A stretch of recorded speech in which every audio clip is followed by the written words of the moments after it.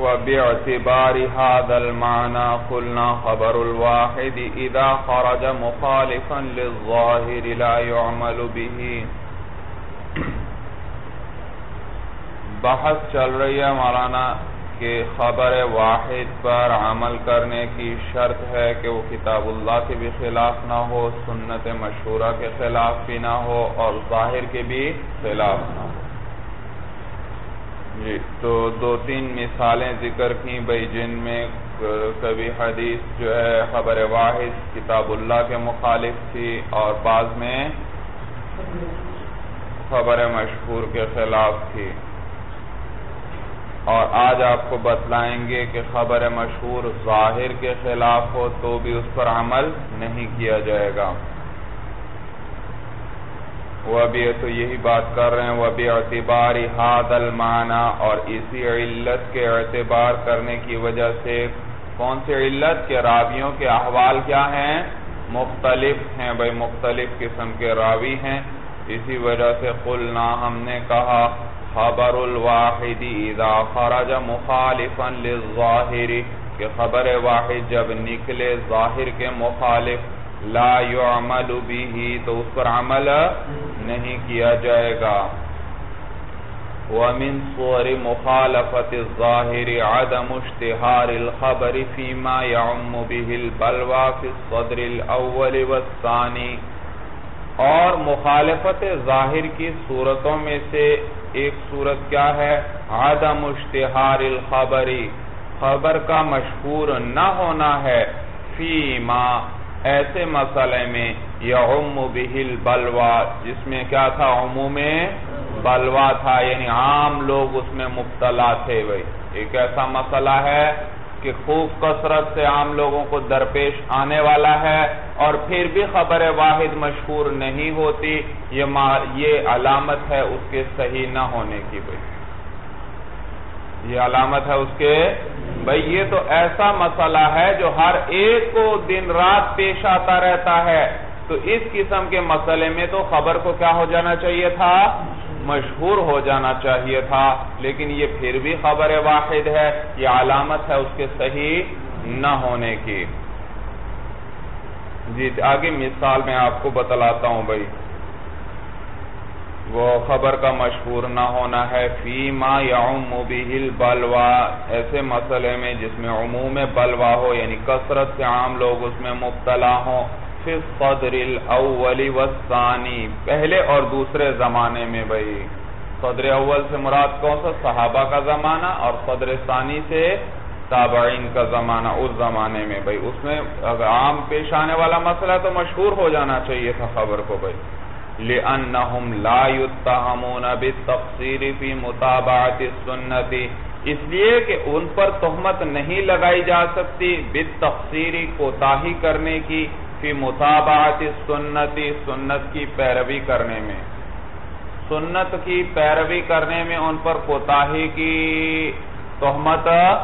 بھئی ان لوگوں نے صحابہ و تابعین تو ایسے لوگ ہیں جنہوں نے سنت کی پیروی کرنے میں، اس کی خدمت کرنے میں اور اس کی اشاعت کرنے میں اپنی زندگی، اپنی پوری زندگیاں گزار دیں، ان پر یہ تہمت نہیں لگائی جا سکتی کہ انہوں نے کیا کیا، سنت کی پیروی میں کوتاہی کی ہے بھائی۔ ورنہ تو اگر یہ خبر واحد مسئلہ عام در پیش آنے والا ہے اور پھر بھی ایک دوسرے کو نہ بتا رہے ہیں اور نہ ان تک خبر پہنچ رہی ہے، معلوم ہوا انہوں نے کیا کی ہے۔ سنت کی پیروی میں کوتاہی کی ہے اور حالانکہ یہ تہمت تو ان پر لگانا صحیح، معلوم ہوئے خبر واحد ہی صحیح نہیں ہے۔ عام پیش آنے والا مسئلہ ہے اور پھر بھی ہر ایک تک یہ بات نہیں پہنچ رہی بھائی۔ معلوم ہو یہ خبر واحد صحیح نہیں ہے۔ فَإِذَا لَمْ يَشْتَهِرِ الْخَبَرُ مَعَ شِدَّةِ الْحَاجَةِ وَعُمُومِ الْبَلْوَى اور جب مشہور نہیں ہوئی خبر باوجود شدید حاجت کے وہ عموم البلوا اور عموم بلوا کے عام ابتلا کے، کان ذالکا علامت عدم صحت ہی تو یہ علامت ہوگی اس کے صحیح نہ ہونے کی بھئی۔ اس کے اس کے صحیح نہ ہونے کی؟ تو بھئی یہ ظاہر خبر واحد ہے، یہ ظاہر کے مخالف ہوئی بھئی۔ سمجھ میں آیا؟ ظاہر تو کیا تھا؟ یہ مسئلہ عام در پیش ہونے والا ہے۔ اس کو کیا ہو جانا چاہیے تھا؟ صدر اول و ثانی میں خبر مشہور ہو جانا چاہیے تھا۔ عام در پیش ہونے والا مسئلہ ہے، لیکن یہ مشہور نہیں ہوئی، معلوم ہو یہ صحیح نہیں۔ تو ایک عام درپیش ہونے والا مسئلہ ہو اور اس میں شدید حاجت ہو لوگوں کی، اور پھر بھی خبر واحد صدر اول اور صدر ثانی میں مشہور نہ ہوئی ہو، یہ کیا، کس چیز کی علامت ہے؟ اس کے صحیح نہ ہونے کی بھئی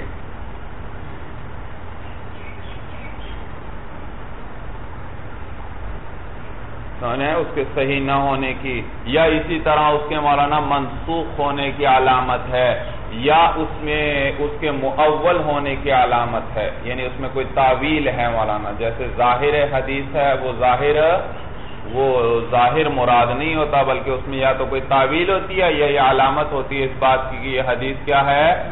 منسوخ ہو چکی ہے بھائی۔ جیسے اس کی مثال مولانا، یہ آپ کے حاشیے میں بھی انہوں نے دی ہے۔ ایک مثال دیکھ لیں، اس سے آپ کو اندازہ ہو جائے گا۔ آٹھ نمبر حاشیے میں دیکھیے مولانا۔ مثل حدیث الجہر بالتسمیتی جیسے حدیث جہر ہے جہر بالتسمیہ کی حدیث ہے مولانا۔ یعنی بسم اللہ کو جہری پڑھا جائے گا بھائی۔ بھائی ہم جہری نمازیں پڑھتے ہیں، امام اس میں بسم اللہ بلند آواز سے پڑھتا ہے، جہرن پڑھتا ہے۔ جو بسم اللہ نہیں جہران پڑھتا بھائی، قرآن شروع کرتا ہے آگے بھائی۔ لیکن حدیث ہے بھائی وہ ہوا ماروی اغربا ابو حریرت رضی اللہ تعالیٰ ابو رضی اللہ تعالیٰ عنہ فرماتے ہیں کان النبی صلی اللہ علیہ وسلم یجہر بسم اللہ یجہر ہونا چاہیے یجہر یجہر بسم اللہ الرحمن الرحیم فی الصلاة. حضرت ابو حرارہ رضی اللہ تعالیٰ عنہ فرماتے ہیں کہ حضور علیہ السلام جہر فرمایا کرتے تھے بسم اللہ الرحمن الرحیم کا نماز میں بھئی حضور صلی اللہ علیہ وسلم کیا ہے؟ بسم اللہ جو ہے نماز میں جہری نمازوں میں کیسے پڑھا کرتے تھے؟ جہرن پڑھا کرتے تھے بھئی جن نمازوں میں اونچی آواز سے قرآن کی جاتی ہے، ان میں بسم اللہ بھی حضور صلی اللہ علیہ وسلم بلند آواز سے پڑھا کرتے تھے۔ یہ خبر واحد ہے جو حضرت ابو حریرہ رضی اللہ تعالیٰ عنہ سے روایت کی گئی ہے۔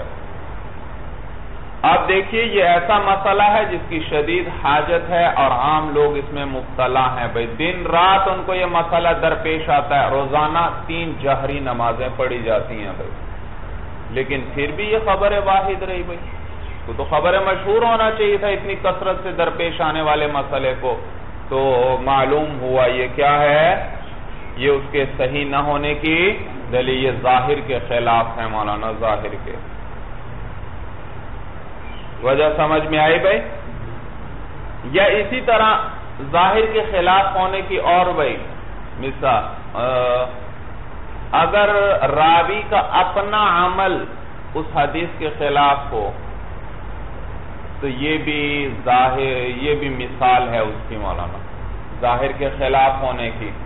جیسے مولانا وہ روایت ہے حضرت عائشہ رضی اللہ تعالیٰ عنہ کی، رضی اللہ تعالیٰ عنہ کی کل گزری بھئی کیا ایوم امرأت نکحت نفسها بغیر اذن ولیہا فنکاحها باطل باطل باطل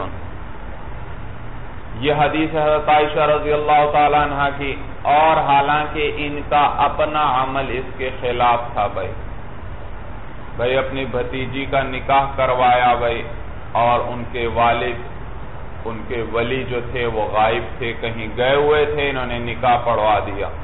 معلوم ہوا ولی کی اجازت کے بغیر بھی کیا ہے؟ عورت کا نکاح ہو جاتا ہے تو دیکھو، راوی نے سقہ راوی نے اپنی روایت کے خلاف عمل کیا۔ سمجھ میں آیا؟ تو یہ بھی مثال ہے ظاہر کے خلاف ہونے کی۔ معلوم ہوا یہ خبر واحد بھی کیا ہے؟ ظاہر کے خلاف ہے کہ راوی خود اس کے خلاف عمل کر رہا ہے۔ معلوم ہوا ان کے نزدیک بھی یہ حدیث یا تو منسوخ ہے یا معول ہے، اس میں کوئی تعویل وغیرہ ہے بھائی۔ بات سمجھ میں آ گئی بھائی اچھی طرح؟ جی وہ مثال فی الحکمیاتی اور شرعی مسائل میں اس کی مثال بھائی، جبکہ خبر واحد کیا ہو، ظاہر کے مخالف۔ اب مثال ذکر کرنے لگیں، ایک دو تین مثالیں ذکر کریں گے بھائی۔ لیکن ان حدیث نہیں مراد، عام آدمی کی خبر مراد ہے۔ کوئی ایک عام آدمی آ کر خبر دیتا ہے یہ بھی کیا ہے؟ خبر واحد ہے بھائی، خبر واحد ہے۔ تو کوئی ایک عام آدمی آپ کو آ کر خبر دے تو وہ خبر بھی اگر ظاہر کے مخالف ہو تو اس پر عمل نہیں کیا۔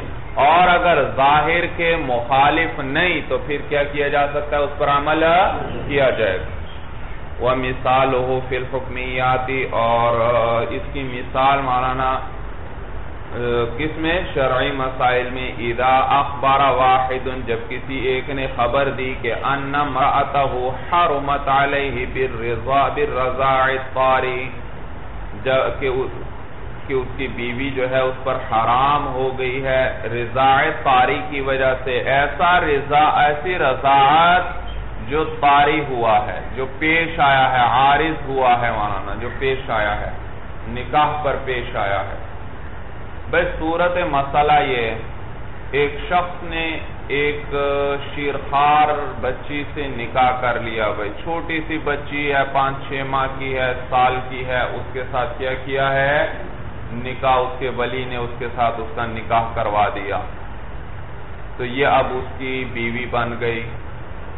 پھر اس کو، اس کے خاون جو ہے، اس کو آ کر کوئی شخص اطلاع دیتا ہے کہ یہ جو تمہاری بیوی ہے، یہ تو تمہاری رضائی بہن بن گئی۔ بھئی وہ کیسے رضائی بھئی تمہاری والدہ نے اس کو دودھ پلا دیا۔ تمہاری والدہ نے کیا کر دیا ہے؟ دودھ تو دیکھو، اب یہ رضاعت جو ہے، یہ پیش آئی ہے کس پر؟ نکاح پر۔ نکاح کے بعد رضاعت آئی ہے۔ تو اب یہ خبر ظاہر کے مخالف نہیں مولانا، بلکہ ظاہر کے مطابق ہے۔ وہ بھی کیا ہے مولانا؟ شیرخار بچی ہے اور چھوٹے دودھ پیتے بچوں کو عموماً عورتیں کیا کر دیا کرتی ہیں؟ دودھ پلا دیا کرتی ہیں۔ تو لہٰذا اب اس آدمی کے لیے اس کی خبر پر اعتماد کرنا جائز ہوا۔ جب تو جب رضائی بہن بن گئی تو نکاح ٹوٹ گیا، ختم ہوا۔ اب یہ اس کی بہن کے ساتھ کیا کر سکتا ہے؟ نکاح کر سکتا ہے۔ ویسے تو دو بہنوں کو نکاح میں جمع نہیں کر سکتا بھائی۔ دو بہن کے ساتھ اب اس کی نکاح نہیں کر سکتا، جبکہ یہ بھی اس کے نکاح میں ہو۔ لیکن جب ایک شخص نے خبر دے دی اور یہ خبر ظاہر کے مخالف بھی نہیں ہے، تو لہٰذا اب اس پر جائز ہے کہ یہ اعتماد کرے اور اس کی بہن کے ساتھ کیا کر لے؟ نکاح کر لے۔ سورج سمجھ میں آئی بھائی؟ تو یہ خبر ظاہر کے مخالف نہیں۔ مثال اس کی شرعی مسائل میں اذا اخبار واحد، جب کسی ایک نے خبر دی ان امرأته حرمت علیہ بالرضاع التاری کہ کسی نے کسی کو خبر دی کہ اس کی بیوی اس شخص پر حرام ہو گئی ہے، ایسے رضا کی وجہ ایسی رضاعت کی وجہ سے جو پیش آیا ہے، جاز ان یعتمد علی خبری جائز ہے خامن کے لیے کہ وہ اعتماد کرے اس کی خبر پر۔ تو دیکھا یہ خبر واحد ہے، پھر بھی وہ اعتماد کر رہا ہے کیونکہ ظاہر کے مخالف نہیں۔ تو اس کی خبر پر اعتماد کرے۔ وَيَتَزَوَّجَ اُخْتَهَا اور نکاح کر لے اس کی بہن سے۔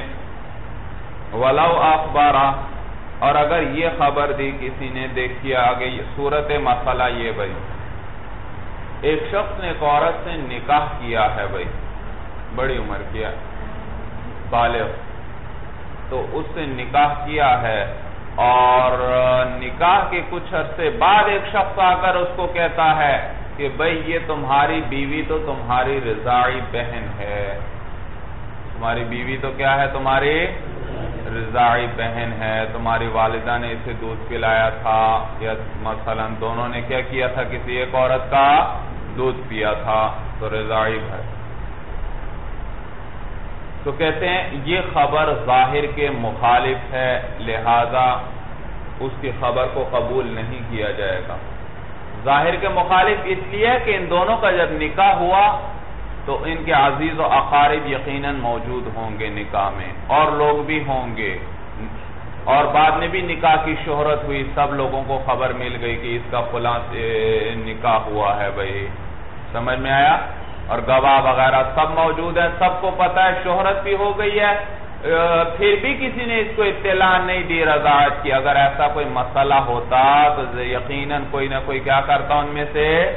ان کو اطلاع ہوتی اور وہ ان دونوں کو خبر دیتا، لیکن اس وقت بھی کسی نے خبر نہیں دی۔ اب اتنے عرصے کے بعد ایک آدمی اٹھ کر آ کر کہتا ہے، معلوم ہوا یہ خبر واحد کیا ہے؟ ظاہر کے خلاف ہے، لہذا اس کو قبول نہیں کیا جائے۔ ولو اخبر ان العقد كان باطلا بحكم الرضاع لا يقبل خبره اور اگر خبر دی کسی ایک نے کہ عقد نکاح جو ہے وہ باطل ہے رضاعت کے حکم کی وجہ سے لا يقبل خبره تو قبول نہیں کی جائے گی اس کی خبر۔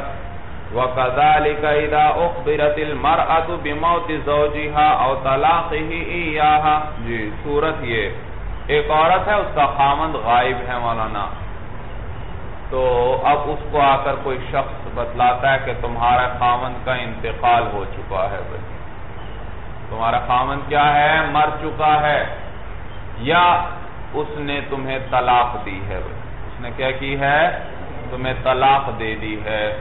تو اب یہ خبر چونکہ ظاہر کے مخالف نہیں خامن بھی کیا ہے؟ غائب ہے۔ اور یہ شخص خبر دے رہا ہے، کوئی اس کی تقزیب کرنے والا بھی نہیں ہے ہمارا نام تو یہ خبر ظاہر کے مطابق ہے، تو جائز ہے اس عورت کے لیے کہ وہ اس شخص کی خبر پر اعتماد کرے اور عدت گزارنے کے بعد کسی اور سے کیا کر لے؟ نکاح کر لے۔ سمجھ میں آیا بھائی؟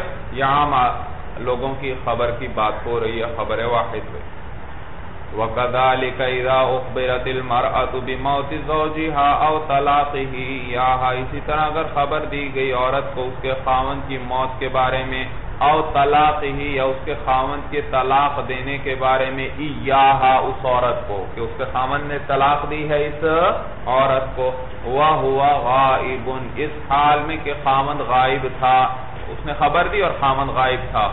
جازان تعتمد علی خبری وتتزوج بغیری جائز ہے کہ وہ عورت اعتماد کرے شخص کی خبر پر اور نکاح کر لے اس کے علاوہ سے۔ کسی اور شخص سے کیا کر لے؟ نکاح کر لے۔ اسی طرح وَلَوِشْتَ بَحَتْ عَلَيْهِ الْقِبْلَةُ فَأَخْبَرَهُ وَاحِدٌ عَنْهَا وَجَبَ الْعَمَلُ بِهِ اگر مشتبہ ہو گیا کسی شخص پر بھئی قبلہ، کسی کا شخص پر قبلہ مشتبہ ہو گیا، اسے پتہ ہی نہیں چل رہا قبلہ کس طرف کو ہے۔ پھر اس کو کسی ایک شخص نے خبر دی کہ قبلہ اس طرف ہے۔ تو اب اس پر اس شخص کی خبر پر عمل پر عمل کرنا واجب ہے، یہ اسی سمت میں رخ کر کے نماز پڑھے بھائی وَلَوِشْ تَبَحَتْ عَلَيْهِ الْقِبْلَةُ تو اگر مشتبہ ہو گیا اس پر قبلہ فَأَخْبَرَهُ وَاحِدٌ، تو اس کو خبر دے دی خبر دی کسی ایک نے عَنْهَا اَيْعَنِ الْقِبْلَةِ قبلہ کے بارے میں وَجَبَ الْعَمَلُ بِهِ واجب ہے اس پر عمل کرنا۔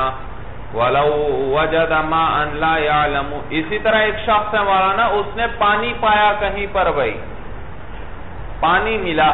اب پتہ نہیں یہ پانی پاک ہے یا ناپاک ہے۔ تو اس وقت ایک شخص نے اس کو بتلایا کہ یہ پانی ناپاک ہے۔ تو اب اس کے لیے اس سے پانی سے وضو کرنا جائز نہیں ہے، کیونکہ یہ خبر واحد ہے اور ظاہر کے مخالف نہیں ہو سکتا۔ یہ پانی کیا ہو؟ واقع ناپاک. ظاہر کے مخالف نہیں ہے، لہذا اب یہ عمل کرنا واجب ہوا، یہ اس سے وضو نہیں کرے گا، بلکہ تیمم کرے گا، کیونکہ پانی تو نجس ہوا بھائی۔ وَلَوْ وَجَدَ مَاءً، اور اگر پانی پایا، لَا يَعْلَمُ حَالَهُ، نہیں جانتا اس کے حالت کو۔ فَأَخْبَرَهُ وَاحِدٌ عَنِ النَّجَاسَةِ، پس ایک شخص نے اس کو خبر دے دی نجاست کے بارے میں۔ یہ پانی کیا ہے؟ نجس ہے۔ لا يتوضع به بل يتيمم تو اسے وضو نہیں کرے گا، بلکہ تیمم کرے گا۔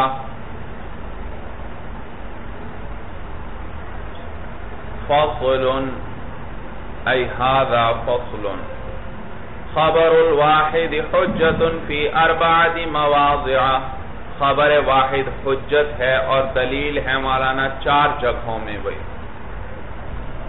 سمجھ میں آیا بھائی؟ خبر واحد حجت ہے کتنی جگہوں میں بھائی؟ چار جگہوں میں بھائی۔ بھائی، یہاں خبر واحد سے یہ نہیں مراد کہ کسی ایک شخص کی خبر ہو۔ سمجھ میں آیا؟ ایک آدمی کی خبر۔ واحد سے مراد واحد شرعی مراد ہے۔ کیا مراد ہے؟ واحد شرعی مراد ہے۔ اور واحد شرعی کسے کہتے ہیں؟ جی خبر واحد کس کو کہیں گے؟ جو حد شہرت اور حد تواتر کو نہ پہنچی ہو، وہ کیا ہوگی؟ خبر واحد ہوگی۔ لہذا ایک شخص کی خبر، یہ بھی خبر واحد میں داخل ہوئی۔ دو کی خبر، یہ بھی کس میں داخل ہوئی؟ خبر تین کی خبر، یہ بھی کس میں داخل ہوئی؟ خبر چار کی خبر وغیرہ، یہ بھی کس میں داخل ہوئی؟ خبر واحد میں داخل۔ ہوئی سمجھ میں آیا؟ کیوں جب تک حد شہرت تک نہیں پہنچ جاتی، یہ کیا کہلائے گی؟ خبر ہے واحد کہلائے گی، لہذا ایک، دو، تین، چار، پانچ کی خبر بھی اسی میں داخل ہے بھائی۔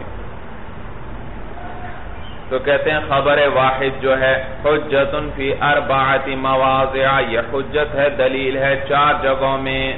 خالص حق اللہ تعالی، خالص اللہ کا حق ہو بندوں کا حق اس سے متعلق نہ ہو۔ سمجھ میں آیا؟ خالص اللہ کا حق۔ جیسے عبادات ہیں مولانا، نماز، روزہ زکاة وغیرہ، صدقہ، عشر وغیرہ۔ خالص اللہ کا حق۔ ما لیس بعقوبت جو عقوبت نہ ہو مولانا، سزاؤں میں سے نہ ہو۔ سزا نہ ہو بھائی۔ بھائی، کچھ حقوق اللہ، سزائیں بھی تو ہیں۔ اللہ نے کیا فرمایا ہے بھائی؟ کہ جو زنا کرے، اس کو کیا کیا جائے؟ شادی شدہ ہو تو رجم کیا جائے، اور اگر غیر شادی شدہ ہو تو اس کو سو کوڑے لگائے جائیں بھائی۔ تو یہ بھی تو حق اللہ ہے بھائی۔ سمجھ میں آیا بھائی؟ لیکن یہ سزا کی قبیل سے ہے۔ کہتے ہیں خالص اللہ کا، پہلے مقام کون سا ہے جہاں خبر واحد حجت ہوگی؟ خالص اللہ کا حق ہو اور سزاؤں کی قبیل سے نہ ہو بھائی سزاؤں کی قبیل سے نہ ہو۔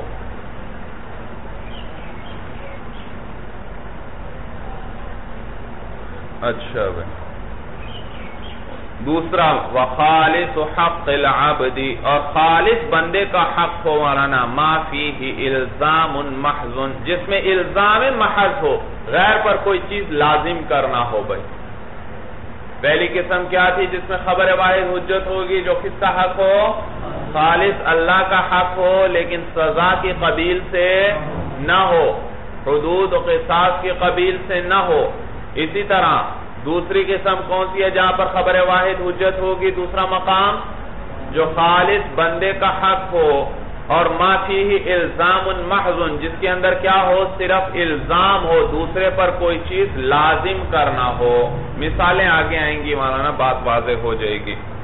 تیسرا وخالص حقه ما ليس فيه الزام اور تیسرا مقام، جو خالص بندے کا حق ہو جس میں الزام نہ ہو۔ دوسرے پر کوئی چیز لازم کرنا۔ پہلا تھا، خالص اللہ کا حق، جو سزاؤں کی قبیل سے نہ ہو۔ ثانی کیا ہے، جو خالص بندے کا حق ہو، اس جس میں کسی دوسرے پر کوئی چیز لازم کرنا ہو۔ اور تیسرا بھی، وہ بندے کا حق ہے، لیکن اس میں کسی دوسرے پر کوئی چیز لازم کرنا نہ ہو۔ اور چوتھی جگہ، وخالص حقه ما فيه الزام من وجه۔ خالص بندے کا حق ہو جس میں الزام ہو من وجہ اور غیر الزام ہو من وجہ من وجہ غیر پر چیز لازم کرنا ہو اور من وجہ غیر پر چیز یعنی کچھ کسی اعتبار، ایک اعتبار سے غیر پر چیز لازم کرنا ہے اور دوسرے اعتبار سے غیر پر کچھ لازم کرنا نہیں ہے بھائی۔ تو ان چار جگہوں میں خبر واحد حجت ہے مانا۔ کتنی جگہ ہوئی پہلی جگہ کون سی ہوئی؟ خالص اللہ کا حق جو سزا کی قبیل سے نہ ہو یعنی عبادات وغیرہ ہیں، نماز روزہ وغیرہ، ان میں خبر واحد حجت ہوگی۔ اور دوسرا کیا ہے؟ خالص بندے کا حق، جس میں کیا ہو؟ صرف دوسرے پر کچھ لازم کرنا ہو۔ تیسرا وہ کہ جس میں خالص بندے کا حق، جس میں اس غیر پر کچھ لازم کرنا نہ ہو۔ اور چوتھا مقام، جہاں من وجہ لازم کرنا ہو اور من وجہ لازم یعنی بعض اعتبارات سے دیکھا جائے تو دوسرے پر چیز کو لازم کرنا ہے اور دوسرے اعتبار سے دیکھا جائے تو غیر پر کچھ بھی لازم کرنا نہیں ہے بھائی۔ ایک پانچواں مقام بھی تو رہ گیا بھائی، اس کو مصنف نے ذکر نہیں کیا۔ اور وہ کیا؟ وہی جس کو انہوں نے پہلے نکالا۔ جو خالص اللہ کا حق ہو اور عقوبت کی قبیل سے ہو۔ انہوں نے تو کیا کہا تھا؟ خالص اللہ کا حق ہو اور عقوبت کی قبیل سے۔ تو وہ تو رہ گیا بھائی۔ تو اس کو اس لیے تو پانچ کہتے ہیں بھئی اس کو اس لیے ذکر نہیں کیا کہ عقوبت جو ہے، سزائیں جو ہیں، حدود و قصاص جو ہیں، ان میں خبر واحد حجت نہیں ہے۔ حدود و قصاص کے اندر کیا ہے؟ خبر واحد حجت. اس لیے اس کو مصنف نے ذکر نہیں کیا. کیوں؟ کیونکہ آپ نے پڑھا ہے مولانا، الحدود تندری بالشبہات. حدود تو کیا ہے شبہات کی وجہ سے ساقط ہو جایا کرتی ہیں. اور خبر واحد میں شبہات ہوتا ہے یا نہیں ہوتا بھائی؟ آپ پڑھ چکے ہیں، خبر واحد کے اندر کیا ہوتا ہے؟ ایک نوع کا شبہ ہوتا ہے۔ سمجھ میں آیا اور لہذا حدود و قصاص کے اندر خبر واحد قبول نہیں۔ اس پر اشکال ہوتا ہے خبر واحد کی وجہ سے سزائیں نافذ تو کی جاتی ہیں۔ بھائی، دو آدمی گواہی دے دیں عادل تو شراب، خمر کی حد جاری کی جائے گی یا نہیں دوسرے پر؟ جی؟ اور اسی طرح چار آدمی گواہی دے دیں تو حد زنا جاری کی جائے گی یا نہیں کی جائے گی؟ تو یہ بھی تو خبر آپ نے یہ بھی بتایا کہ خبر واحد سے کیا مراد ہے؟ ایک کی خبر بھی خبر واحد ہے، دو کی بھی، تین کی بھی، چار کی بھی، پانچ کی بھی۔ جب تک یہ حد شہرت کو نہ پہنچے تو معلوم ہوا خبر واحد کے ذریعے کے ذریعے حدود نافذ نہیں ہو سکتی، ان کو ثابت نہیں کیا جا سکتا۔ لیکن ہم دیکھتے ہیں سزائیں حدود کیا ہوتی ہیں؟ خبر واحد کی وجہ سے نافذ ہو رہی ہیں مولانا۔ دو آدمی گواہی دے دیتے ہیں عادل قسم کے آ کر تو دوسرے پر کیا کی جاتی ہے؟ حد جاری کی جاتی ہے۔ چار آدمی گواہی دے دیتے ہیں، تو حد زنا کیا ہے؟ دوسرے پر جاری کر دی جاتی ہے۔ تو یہ خبر واحد کے ذریعے تو حدود تو ثابت ہو رہی ہیں۔ اور آپ تو کیا کہتے ہیں؟ خبر واحد کے ذریعے حدود ثابت نہیں ہو سکتی۔ جواب یہ مانا کہ یہاں خبر واحد کے ذریعے حدود کو ثابت نہیں ہونا چاہیے تھا، لیکن نص میں چونکہ ان کا ذکر آ گیا، اس لیے یہ خلاف القیاس خبر واحد سے ثابت ہو گئے اللہ نے کیا فرمایا بھائی؟ زنا کے اندر کتنے گواہ قبول کرو بھائی؟ چار گواہ بھائی۔ اور باقی دیگر حدود و قصاص کے اندر کتنے گواہوں کا ذکر آتا ہے بھائی؟ دو گواہوں کا ذکر آتا ہے تو یہ تو نفس کے ذریعے ثابت ہیں، خلاف القیاس ہے بھائی، سمجھ میں آیا؟ ورنہ خبر واحد کو اس مسئلے میں حجت نہیں ہونا چاہیے تھا۔ اس کے ذریعے یہ سزائیں نافذ نہیں ہونی چاہیے تھی کیونکہ خبر واحد ہیں اور خبر واحد میں شبہ ہوتا ہے اور شبہ کی وجہ سے حدود و قصاص کیا ہو جائیں گے؟ ساقت ہو جائیں گے مولانا۔ صورت سمجھ میں آئی بھائی؟ لیکن یہاں یہ ثابت ہو رہے ہیں کس وجہ سے کہ نفس میں آ گیا ان کا ذکر، تو یہ خلاف القیاس نفس سے ثابت ہوا۔ نفس میں آیا ہے زنا میں کتنے؟ قبول کرو گواہ، چار بھائی۔ اسی طرح شراب وغیرہ اور چیزوں کے اندر کتنے قبول کرو؟ دو بھائی۔ مسئلہ سمجھ میں آیا بھائی؟ امل اول. اب دیکھیے مثالیں ذکر کریں گے، بات خوب واضح ہو جائے گی. پہلا مقام کون سا تھا بھائی؟ خالص اللہ کا حق یعنی عبادات، ان میں خبر واحد حجت ہے. پہلی قسم، فیقبل فیہ خبر الواحدی اس میں خبر واحد قبول کی جائے گی. جو خالص اللہ کا حق ہو، نماز، روزہ وغیرہ کے اندر بھئی کیوں؟ دلیل کیا ہے؟ دلیل صاحب کتاب خود ذکر کر رہے ہیں۔ فَإِنَّ رَسُولَ اللَّهِ صَلَّى اللَّهُ عَلَيْهِ وَسَلَّمَ قَبِلَ شَهَادَةَ الْأَعْرَابِيِّ فِي هِلَالِ رَمَضَانَ۔ اس لیے کہ نبی کریم صلی اللہ علیہ وسلم نے قبول فرمائی، دیہاتی کی گواہی رمضان کے ہلال میں۔ بھئی رمضان کا ہلال نظر نہیں آیا۔ بھئی پھر ایک دیہاتی نے آ کر حضور صلی اللہ علیہ وسلم کو بتلایا کہ میں نے چاند دیکھا ہے بھئی رمضان کا بھئی تو حضور صلی اللہ علیہ وسلم نے اس کی یہ خبر واحد تھی اور حضور صلی اللہ علیہ وسلم نے اس کو قبول فرمایا اور ثبوت رمضان کا حکم دیا کہ رمضان کیا ہے؟ شروع ہو چکا ہے بھائی۔ سمجھ میں آیا بھائی؟ تو دیکھو، ایک کی خبر قبول کی مولانا۔ اور یہ کیا ہے؟ روزے کے بعد روزہ کیا ہے؟ اللہ کی عبادت ہے، خالص اللہ کا حق ہے۔ اس میں حضور صلی اللہ علیہ وسلم نے کیا فرمایا؟ ایک خبر واحد کو قبول فرمایا، معلوم ہوا عبادات کے اندر خبر واحد بھی کیا کی جائے گی؟ حجت ہے، قبول کی جائے گی، دلیل بھی آ گئی مولانا۔ سمجھ میں آیا؟ تو یہ ایک شخص کی گواہی اس وقت قبول کی جائے گی مولانا جب بادل وغیرہ ہوں بھائی، مسئلہ صاف نہ ہو، ورنہ اگر مسئلہ صاف ہو تو پھر ایک بڑی جماعت کی گواہی کا ہونا ضروری ہے بھائی۔ وَأَمَّا الثَّانِي، اور جو ثانی ہے، ثانی کیا ہے مولانا؟ جو خالص کس کا حق ہو؟ بندے کا حق ہو، اور اس میں کیا ہو؟ الزام محض ہو، غیر پر کسی چیز کا لازم کرنا ہو، بس۔ فَيُشْتَرَطُ فِيهِ الْعَادَدُ وَالْعَادَ کہ جس ثانی کس کا حق ہو؟ بندے کا حق ہو اور اس میں الزام محض ہو، غیر پر محض کوئی چیز لازم کرنا ہو۔ اس کے اندر مولانا، فَيُشْتَرَطُ فِيهِ الْعَادَدُ اس میں عادت کی بھی شرط لگائی جائے گی اور عدالت کی بھی شرط لگائی جائے گی۔ کس چیز کی؟ عادت کی بھی شرط لگائی جائے گی۔ بھائی، کم از کم کتنے گواہ ہونے چاہیے؟ دو ہونے چاہیے۔ والعدالت اور عادل ہونے کی بھی کہ گواہ کس قسم کا ہو؟ عادل ہو عادل ہو بھائی۔ وَنَظِيرُهُ الْمُنَازَعَاتُ۔ اور اس کی نظیر کیا ہے؟ منازعات ہیں، آپس کے جھگڑے ہیں، مقدمات ہیں مولانا۔ مقدمات میں بھائی کیا شرط لگائی جائے گی؟ بھائی آپس میں ایک شخص دوسرے پر مال وغیرہ کا دعویٰ کرتا ہے تو اس کے لیے ہم کیا کہیں گے؟ کیا لے کر آؤ؟ دو گواہ لے کر آؤ اور گواہ بھی کس قسم کے ہونے چاہیے؟ عادل ہونے چاہیے۔ تو دیکھا، وہ ثانی جہاں بندے خالص، بندے کا حق ہو اور اس میں غیر پر کوئی چیز لازم کرنا ہو۔ دیکھو، اب مقدمہ ہوگا تو، مثلا زید نے کہا کہ عمر نے میرے ایک لاکھ روپے دینے ہیں۔ تو یہاں پر خبر واحد ہے مولانا، اس کو قبول کرنا، کرنے کے لیے شرط کیا ہے؟ عدد بھی شرط ہے اور عدالت بھی۔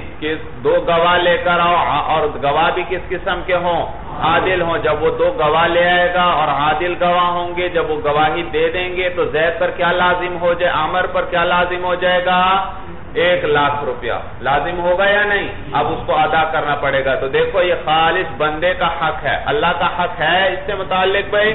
نہیں، یہ زید کا ایک لاکھ روپیہ اس نے دینا ہے اور یہ اس پر لازم ہو جائے گا۔ تو دیکھو، ہے بھی بندے کا حق اور اس میں کیا ہے؟ غیر پر کسی چیز کا لازم کرنا ہے۔ صورت سمجھ میں آ رہی ہے بھائی؟ تو اس میں عادت بھی شرط ہے، دو گواہ ہونے چاہیے۔ اور عدالت بھی شرط ہے کہ گواہ بھی کس قسم کے ہوں؟ عادل ہوں۔ دو بھائی عادت کی شرط، دلیل کیا ہے؟ آپ نے عادت کی قید لگائی بھائی۔ اور عدالت کی عادل ہونے چاہیے، اس کی کیا دلیل ہے مولانا؟ عادت کی دلیل یہ آیت ہے مولانا۔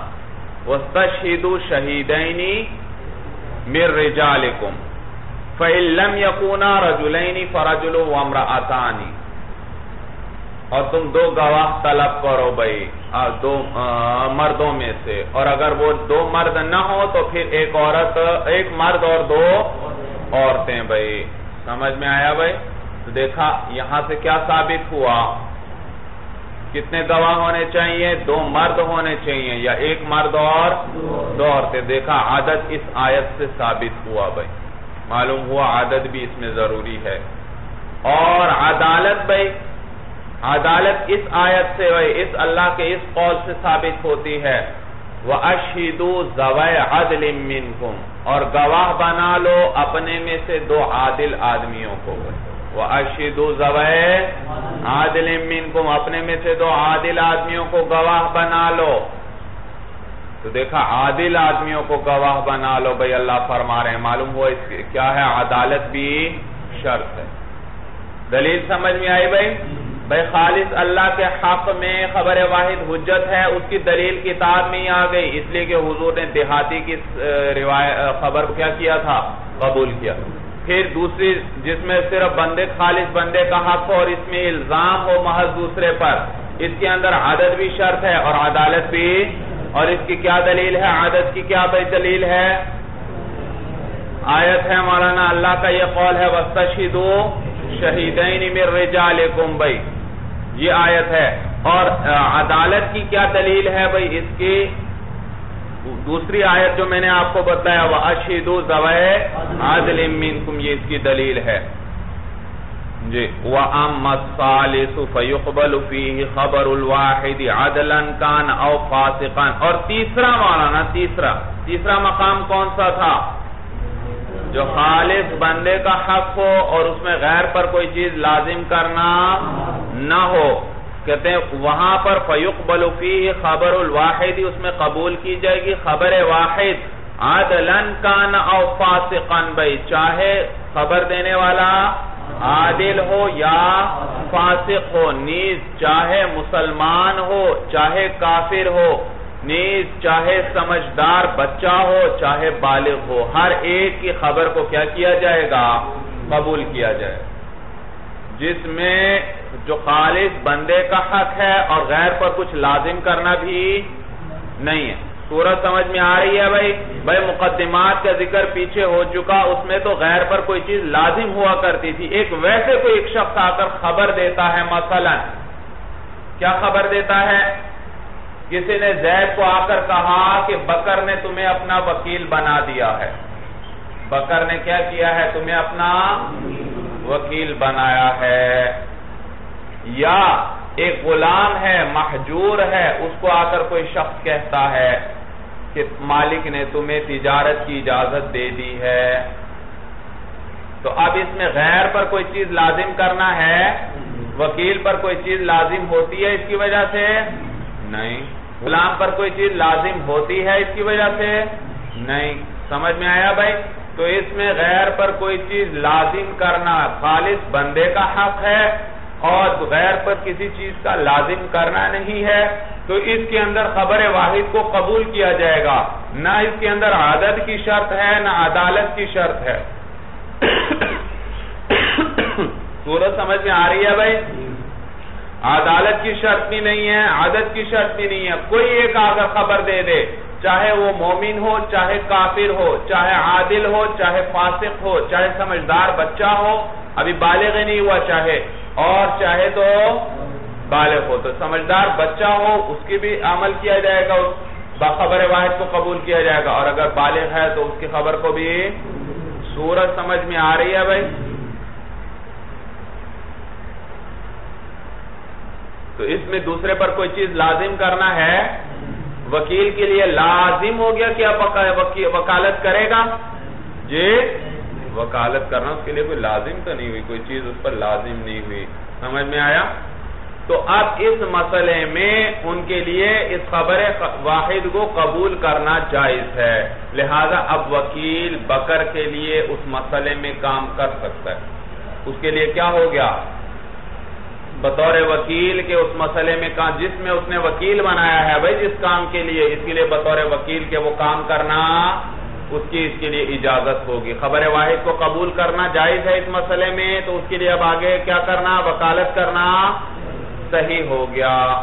اسی طرح غلام کو کسی نے آ کر کہا کہ آقا نے تمہیں تجارت کی اجازت دے دی ہے، تو یہ خبر واحد ہے۔ اس خبر واحد کو قبول کیا جائے گا۔ اور اب غلام کو اجازت ہوگی، وہ آگے تجارت کرنا چاہے تو تجارت کر سکتا ہے۔ سورج سمجھ میں آ رہی ہے بھائی؟ یہ معنی ہے خبر واحد کو قبول کرنے کا۔ اس کی دلیل کیا ہے مولانا دلیل اس کی یہ ہے مولانا کہ حضور علیہ السلام ہدیہ قبول فرما لیا کرتے تھے، عادل سے بھی اور فاسق سے بھی۔ جب وہ یہ بتلاتا کہ یہ ہدیہ ہے، تو سمجھ میں ہے تو حضور علیہ السلام صدقہ نہیں قبول فرماتے تھے، البتہ ہدیہ کیا ہے؟ قبول فرما لیا کرتے تھے بھائی۔ تو ہدیے کے بارے میں جب کوئی خبر دیتا، چاہے وہ خبر دینے والا عادل ہوتا یا فاسق ہوتا، آپ اس کی خبر کو قبول کر لیا کرتے تھے اور اس سے وہ ہدیہ قبول فرما لیتے۔ سمجھ میں آیا؟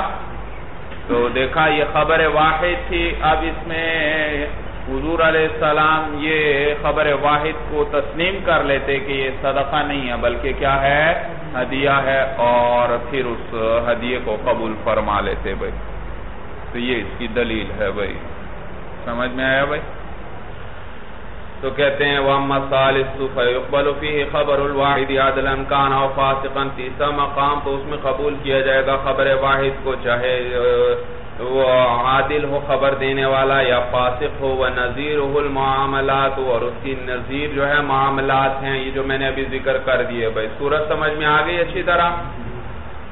وَأَمَّا الرَّابِعُ۔ چوتھا مقام کون سا تھا بھائی؟ جس میں من وجہ الزام ہو اور من وجہ الزام نہ ہو۔ بعض اعتبارات سے غیر پر کچھ لازم کرنا ہے اور بعض اعتبارات سے غیر پر کچھ بھی لازم نہیں کرنا۔ تو کہتے ہیں فَيُشْتَرَتُ فِيهِ اِمَّا الْعَدَدُ اَوِ الْعَدَالَتُ اس میں شرط لگائی جائے گی، یا تو عدد کی یا عدالت کی۔ یا تو عدد کی شرط لگائی جائے گی، یا کس کی؟ بھائی جو جس میں الزام محض تھا، اس میں تو دونوں شرطیں تھیں۔ کیا؟ عدالت بھی اور عدد بھی۔ اور جس میں الزام سرے سے تھا ہی نہیں، وہاں کوئی بھی شرط نہیں۔ اور اس میں من وجہ الزام ہے، اور من وجہ الزام، تو لہذا یہاں پر ان دونوں میں سے ایک شرط لگائی جائے گی۔ سورج سمجھ میں آئی بھائی؟ تو اس میں شرط لگائی جائے گی، یا تو عدد کی، یا عدالت کی عیندہ بحنی امام حنیفہ رحم اللہ کے نزدیک وَنَزِيرُهُ الْعَزْلُ وَالْحِجْرُ۔ اور اس کی نظیر کیا ہے؟ عزل ہے اور حجر ہے بھائی۔ عزل بھائی، معذول کرنا۔ آپ نے ایک شخص کو وکیل بنایا ہوا ہے اپنے کسی مسئلے کے اندر بھائی۔ اب اس آپ کے وکیل کو آ کر اگر کوئی عادل آدمی کیا کہہ دیتا ہے؟ کوئی شخص آ کر کہتا ہے کہ بھئی زید، تم تو زید کے وکیل ہو، زید نے تمہیں وکالت سے معذول کر دیا ہے۔ اس مسئلے میں تمہیں اب اپنا وکیل اس نے نہیں رکھا، ختم کر دیا تمہاری وکالت بھائی تو یہ دیکھو، اب اس میں من وجہ الزام ہے اور من وجہ الزام نہیں بھائی یا اسی طرح مولانا، تفصیل میں آگے بتلاتا ہوں آپ کو۔ عبد محجور تھا بھائی۔ عبد معذون تھا، ایک غلام تھا، اس کو آقا نے تجارت کی اجازت دی ہوئی تھی، وہ تجارت کر رہا ہے بھائی۔ اس کو آ کر کیا کہتا ہے کوئی شخص؟ کہ آقا نے تم پر دوبارہ حجر لگا دیا ہے، تمہاری اجازت واپس لے لی ہے، ممانعت لگا دی ہے، اب تم تجارت نہیں کر سکتے۔ تو معذول کرنا اور حجر یعنی ممانعت لگا دینا، یہ مثالیں ہیں جس میں من وجہ الزام ہے، من وجہ الزام نہیں۔ بھئی من وجہ الزام نہیں۔ الزام اس لیے نہیں کہ یہ وکیل کس نے بنایا تھا؟ زید نے۔ اب زید نے اس کو وکالت سے ہٹا دیا ہے۔ تو کسی اور کے حق میں تصرف کیا ہے یا صرف اپنے حق میں تصرف کیا ہے؟ صرف اپنے حق میں تصرف کیا۔ بھئی اس کا حق تھا یہ ایک معاملے کو خود سر انجام دے سکتا تھا۔ اس نے اس معاملے میں کیا کر دیا؟ غیر کو اپنا وکیل بنا دیا۔ اب اس کو علیحدہ کر رہا ہے تو اپنے حق میں تصرف کر رہا ہے۔ وکیل کے تو کسی حق میں وہ تصرف نہیں کر رہا۔ تو اپنے حق میں جب تصرف کر رہا ہے تو اس اس میں غیر پر کچھ لازم کرنا ہے۔ غیر پر کچھ لازم کرنا۔ آقا نے بھئی اپنے حق میں تصرف کیا تھا۔ غلام کو تجارت کی اجازت دی تھی۔ اب اس نے وہ اجازت سلب کر لیا، واپس لے لیا۔ تو کیا کسی اور کے حق میں تصرف کیا یا اپنے حق میں تصرف کر رہا ہے۔ اپنے حق میں تصرف کر رہا ہے اور اپنے حق میں تصرف کر رہا ہے تو غیر پر کچھ لازم کرنا۔ تو دیکھو، بئی لحاظ اس میں غیر پر کچھ بھی لازم کرنا نہیں ہے بھائی۔ تو یہ من وجہ غیر پر الزام نہیں ہے۔ لیکن دیکھا جائے تو من وجہ غیر پر کچھ لازم کرنا ہے بھی۔ بئی لحاظ کہ اب اگر وکیل نے کوئی کام کیا اس معاملے میں مزید یا عبد محجور نے مزید معاملات وغیرہ کیے تو وہ مالک کی طرف سے یا موکل کی طرف سے نہیں ہوں گے، بلکہ ان کی ذمہ داری انہی پر ہوگی۔ بھئی انہوں نے، مالک نے تو کیا کر دیا؟ وکیل کو اپنی وکالت سے معذول کر دیا۔ لیکن وکیل بازی نہیں آ رہا بھئی وہ آگے اسی معاملے کو اور کرتا ہے تو اب اس کی ذمہ داری کس پر ہوگی؟ وکیل پر ہی ہوگی مولانا۔ آقا نے تو کیا کر دیا ہے اس کو؟ موکل نے تو اس کو کیا کر دیا ہے؟ معذول کر دیا ہے۔ تو اب جو کچھ اب اس میں لازم ہوگا وہ کس پہ لازم آئے گا؟ وکیل پر لازم آئے گا۔ اسی طرح تو اس پر ذمہ داری آئے گی۔ اسی طرح عبد محجور عبد معذون تھا۔ اب اس کو آقا نے اسے اجازت واپس لے لی۔ تو اب یہ کیا بن گیا؟ عبد محجور۔ لیکن یہ پھر معاملات کرتا ہے تجارت وغیرہ کے، تو اب ذمہ داری کس پر آئے گی؟ وہ معاملات ان کی آگے ذمہ داری اسی غلام پر آئے گی مولانا، تو اسی پر وہ چیزیں لازم وغیرہ ہوں گی بھائی۔ پورا سمجھ میں آئی بھائی؟ تو بائی لحاظ اس میں لازم کرنا ہے۔ غیر پر کیا ہے چیز کو؟ پہلے وہ آقا کی طرف سے سارا کچھ کر رہا تھا، موکل کی طرف سے سارا کچھ کر رہا تھا۔ اب یہ کیا ہو گئی؟ اس پر چیزیں اب اس پر لازم ہوں گی بھائی اس کا وہ خود ان کا ذمہ دار ہوگا تو بئی لحاظ اس میں کیا ہے؟ الزام ہے۔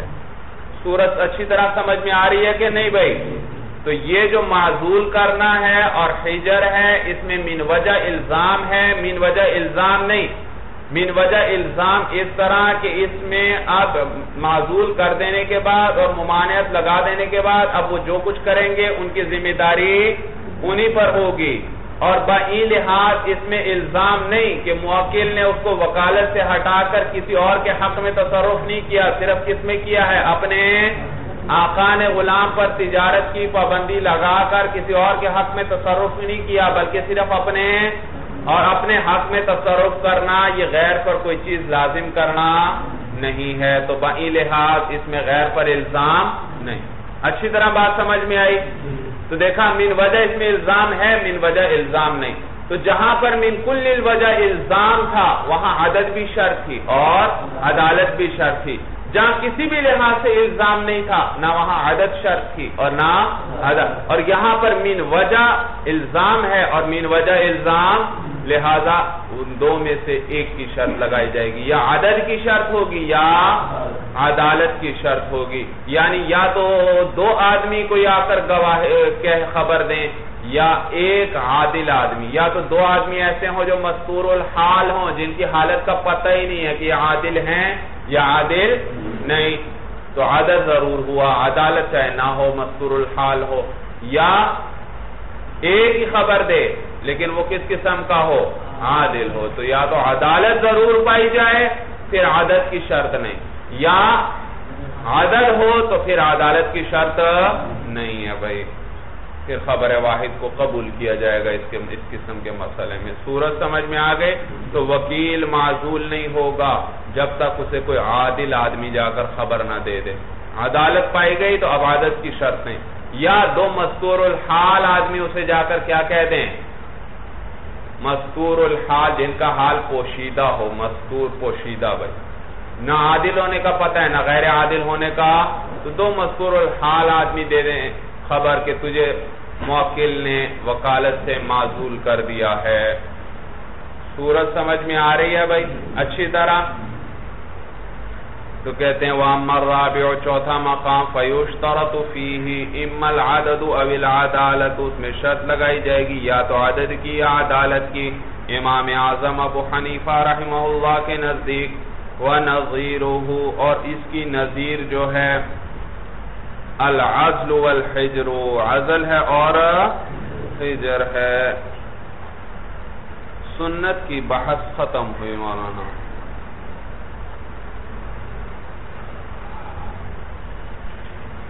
بھائی گواہی کی بات آئی تھی، گواہی سے متعلقہ کچھ قیمتی مفید باتیں آپ کو ویسے بتلا دیتا ہوں بھائی۔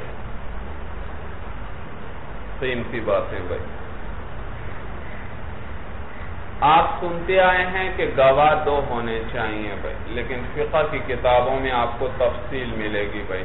ہر مسئلے میں ایسا نہیں ہے کہ دو گواہ ہونے چاہیے یا ایک مرد اور دو عورتیں۔ ہر مسئلے میں ایسا۔